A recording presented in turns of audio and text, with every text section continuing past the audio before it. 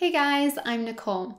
I'm really excited to share another writing exercise with you today, and this one is going to help you to write compelling characters, whether you're working on a novel or a short story or even a nonfiction book. And I call this exercise the dinner table exercise, and I found it while reading Robert McKee's book, Story. So, McKee is famous for his screenwriting workshops that have been attended by Academy Award winning writers. And in this book, he shares pretty much everything that he would have taught in those workshops. And this means that he does reference movies and screenwriting a lot, but really the principles of storytelling that he shares are universal no matter what kind of story you're writing. A quick note that the book does contain some strong language and it does address some mature themes because of the films that he talks about. So just keep that in mind if you do pick up a copy of this book. But I have found it really helpful when I was working on the first draft of my novel and I decided to read it again as I am now in the editing process of that novel. So let's get to the writing exercise. So I came across this writing exercise. It wasn't really a writing exercise in the book, but I think it can be turned into an exercise that will be really helpful. And it is in chapter 8 of the book where he's talking about cast design. And basically that means the characters in your story. And I think one of the problems that you can run into when you are writing a story is that you don't have well rounded characters. So maybe your protagonist, you spend a lot of time developing their character, you spend a lot of time developing the antagonist, but then the other characters in the story are not as well developed.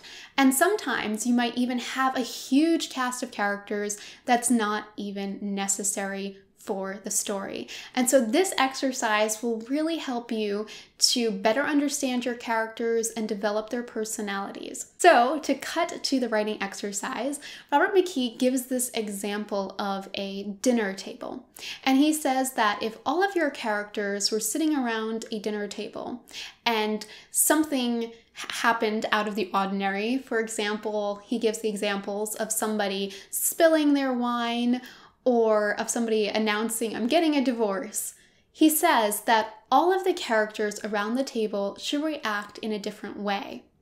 If two characters or more react in the same way, then you have a problem with your characters there. And those characters maybe could be turned into just one character. For example, let's say somebody spills the wine at the dinner table, and you have one character who jumps up, and their response would be, How on earth could you spill that wine? Another character says, What's the matter? Is there something wrong with you that you knocked the wine bottle over? And a you have two other characters, however, who both jump up and say, We're going to go get napkins to clean up this mess. You shouldn't have two characters that respond in the exact same way to that problem. So basically with this exercise, what you would do is you would put your characters into a situation where you could test how would they react to a problem that is going on, what would their reaction be? So maybe a dinner table wouldn't work for your story and you can think up some other situation to put your characters into. But then look at their reactions to that situation. Do you have characters that would have an identical reaction? Then you might not need both of your characters in the story.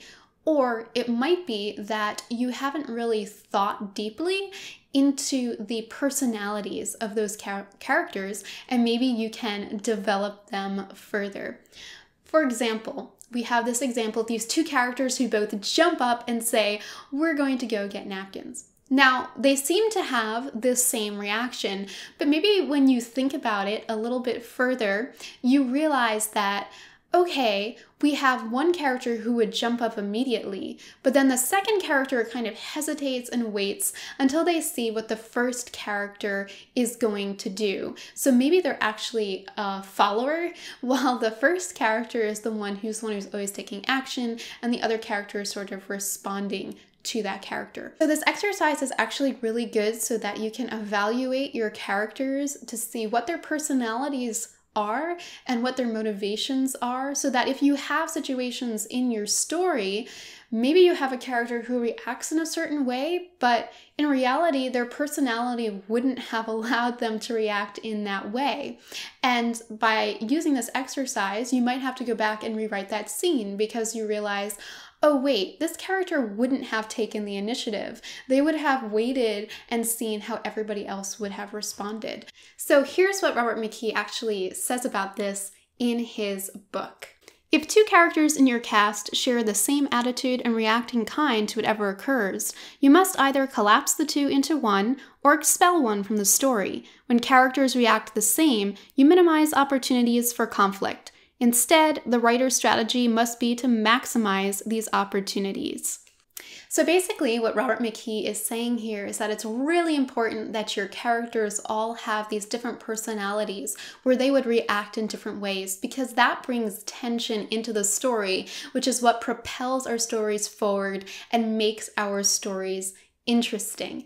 If we don't have that tension, then the story becomes boring. So if somebody knocks the wine over and everybody just says, oh dear, that's a problem, that's not a story. But if somebody, you know, jumps up and says, how on earth could you have knocked over that bottle of wine? Then we're like, okay, why is this such a terrible thing? And immediately we have a story. So I hope you enjoyed this video and that this exercise helps you. I'd love to know what you think in the comments. Give the video a like if you enjoyed it and follow me here on YouTube.